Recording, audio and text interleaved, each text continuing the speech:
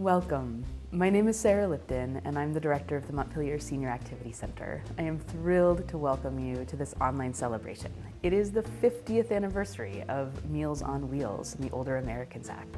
And here in Montpelier, we have taken this time to celebrate Meals on Wheels because it's so important to bring forth a celebration of this vital and super important resource.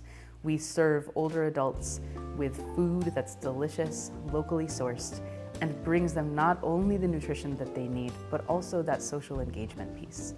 So what we've created for you today is an online celebration. We have brought together many guest stars who I'm very excited to introduce you to.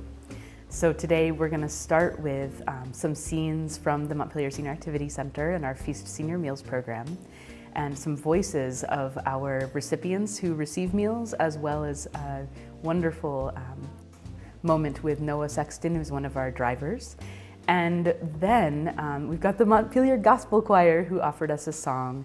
And then I'll be hosting a roundtable conversation with some of the key leaders in the Vermont food security world, which includes Mary Woodruff from the Department of Aging and Independent Living at the state of Vermont, Mayor Anne Watson, City of Montpelier's mayor, who just proclaimed March as March for Meals Month. And then we also have um, Kathy Paquet, who for almost 30 years has been running Meals on Wheels for our region through the Central Vermont Council on Aging.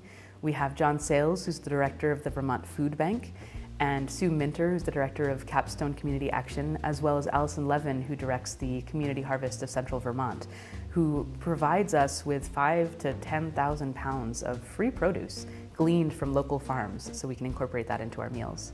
So we'll have a conversation about the necessity of this program and why it's so important and how we work so hard to bring not only these nutritional resources to our community, but also that social engagement piece. And then I'm really thrilled to bring you a wonderful conversation and performance with an artist friend of mine named Justin Michael Williams. We did the recording while he was in Bali, and I'm really excited for you to hear his story that he shares and the music that he shares about his grandmother and his connection with her. Um, I really want to thank our sponsors for this event, as well as WellTold Films, who did videography for us. Um, and thank you to our sponsors, uh, the Wild Loation, uh, Three Penny Tap Room, um, Westview Meadows, Gary Residence, and Hunger Mountain Co-op. And thank you to all of you for donating to this really important, important celebration. Without you, we wouldn't be able to offer what we can and what we need to to our older adult community. So enjoy.